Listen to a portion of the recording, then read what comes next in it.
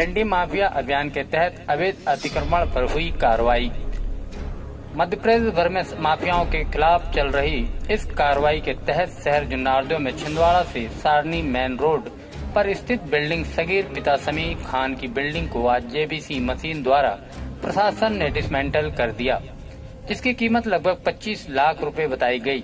इस कार्रवाई के दौरान पुलिस प्रशासन भी अलर्ट नज़र आते देखा गया एसडीएम एम आर दुर्वे ने जानकारी देते हुए बताया कि बिल्डिंग सईद खान ने अवैध रूप से निर्माण किया था, जिसे तोड़कर डिसमेंटल कर दिया गया।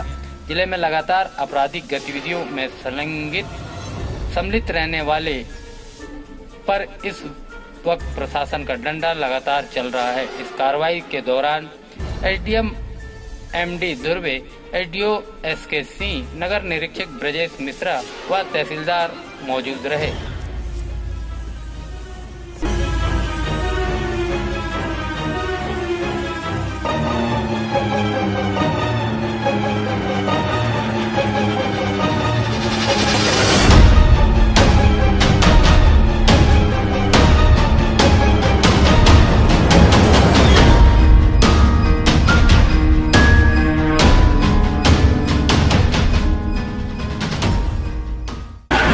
सगीर खान। तो माफिया है और आपराधिक रिकॉर्ड है इसके विरुद्ध दस बारह प्रकरण चल रहे हैं अभी। और दूसरे की ज़मीन पर इसने दमागाही से कब्जा कर रखा था।